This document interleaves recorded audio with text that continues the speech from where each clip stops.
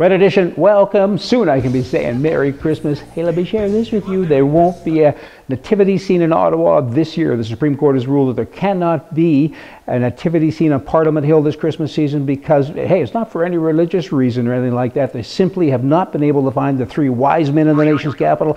A search for a virgin continues. There was no problem, however, finding enough asses to fill the stable. Just, just wanted to kind of get you going here about Christmas, you know. In the United States, I don't think this is in Canada, although I'm not sure. There's the BET TV network, BET. And of course, that stands for Black Entertainment TV. So I've been having a thought about that. Let's have a WET TV. That'll be W E T, White Entertainment TV. What do you think about that? I kind of think the whole lid would blow off the country. You'd have everybody calling you a terrible thing. You'd be a racist, you'd be a bigot, you'd do this and you'd do that, but you probably would make money. So there's your dare your challenge for the day. If you're an entrepreneur, it doesn't even matter if you're white or black, be any color you want to be. Might be a good business for you to get into. And better yet, do it on the internet. Why not try to get wet? .tv or wet.com white entertainment network and or uh, wow what is going on? I mean, try having a white beauty contest, and I don't have a racial bone in my body. I mean, that's bad. I mean, I am totally colorblind. I got friends of all colors. So this ain't about any of that, other than who is the real bigot? Maybe the government? Kind of, sort of, maybe, do you think? Imagine having a bet black entertainment television station. Good grief. Now, hey, is this true? The phone kids have today when they are six is this an iPhone. And when they used to be six years ago, they had that. And of course, when I was six, I had that. Modern technology, and nobody was making any money then, particularly on those empty cans. And today, of course, Apple and everybody, they're making a lot of dough.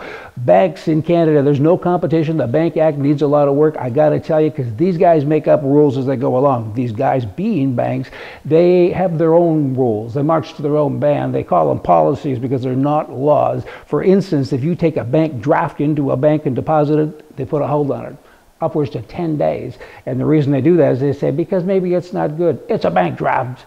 It's your job as a bank, I think, to verify, check it, do something. People once robbed banks and now banks rob people. Kind of been a reverse there. If you had competition, open it up and make it simple for other people to get into the business and then it would take care of itself. It would be self-correcting. Right now, you can't even cash a check at a bank unless you have an account there. Years ago, a couple of years ago, I had a check from an individual. I went to the bank to cash it, and they said, "Do you have an account here, Royal Bank?" I said, "No."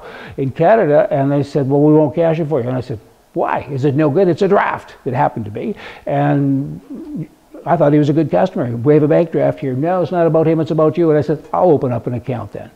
Okay, but I'm going to close it as soon as I get the cash. You, y'all need to know that. Well, then we can't do that. We had a terrible argument, and I phoned the guy and says, "Hey, the bank says you're a bum." Oh, we didn't say that. And I said, "Well, of course you did. You won't honor his commitment. I have a bank draft drawn on his account at your branch, and you won't give it to me because I don't deal with you." What's that got to do with the price of a banana? Not very much. There's an appeal court thing going on in Toronto, Canada, or Canada, I should say, with Lord Black, if that's uh, Conrad Black. He was given the Order of Canada back in 1990, and in 2007, many, many years later, he was a convicted felon. He had done a bad thing, and they're now coming saying, We're going to take your Order of Canada away. That is just so wrong. That's morally corrupt. That's wrong, wrong, wrong. You got to be judged for the moment. Man must be judged by the background or backdrop of his time. And this is terrible. Well they won't even allow him now. What's been denied is his request to go to make application in front of everybody to talk about it. They have taken the award away from many people in the past. Again, it's just totally wrong, hypocritical. If you get an award for scored a goal, and years later they say, we don't like how you got a speeding ticket, we're taking that away. That's got nothing to do with a goal that was scored. They're wrong. And that is right. Let me end today with this. A 10-year-old daughter went up to her mother and said, what's it like to have the greatest and smartest daughter in the whole world. Mother thought for just a brief second, then she said, I don't know, dear. You have to ask Grandma.